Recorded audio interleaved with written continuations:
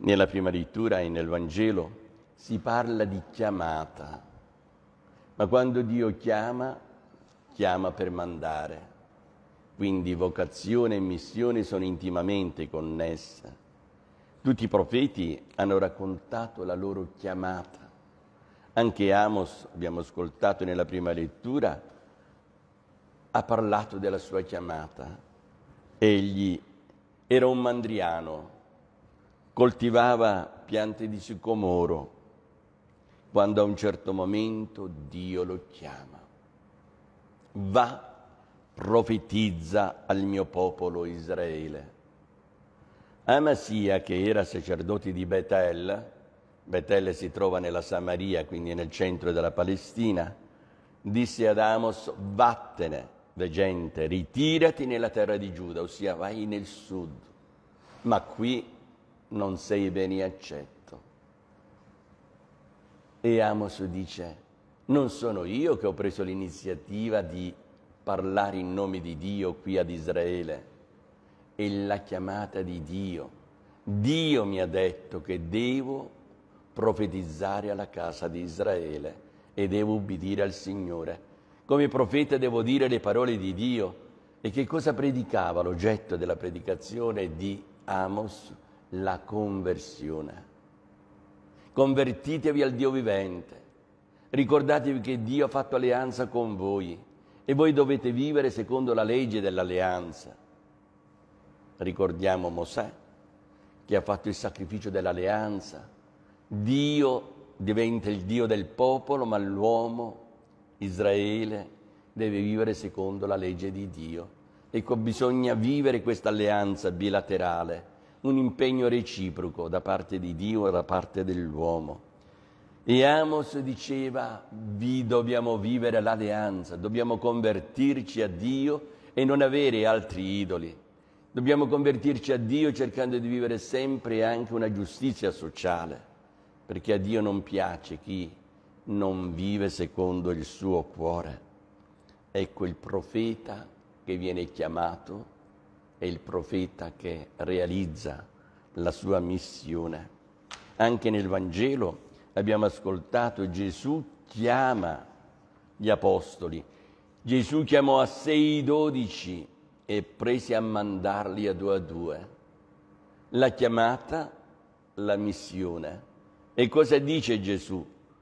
Predicate che la gente si converta e nello stesso tempo gli apostoli scacciavano i demoni, ungevano con olio molti infermi e li guarivano. Era la stessa missione di Gesù che continuava negli apostoli. Gesù dice, secondo i Vangeli, il regno di Dio è vicino, convertitevi e credete al Vangelo. Gli apostoli devono continuare nel tempo e nello spazio la stessa missione. Il regno di Dio è vicino, convertitevi e credete al Vangelo.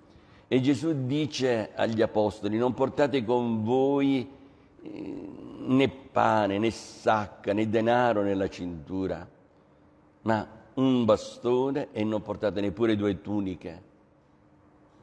In fondo Gesù dice l'efficacia di questo vostro impegno apostolico non, ris- non confondetelo diciamo, con la tecnologia, con le capacità tecnologiche che vi danno un pochettino più di sicurezza. L'efficacia è legata all'azione dello Spirito. Per questo siate sgombri da tutto quello che non è proprio l'essenziale, cercate di portare con voi sempre la vostra vocazione di essere segno della presenza di Dio, che invita a conversione, che invita alla verità, all'autenticità della vita.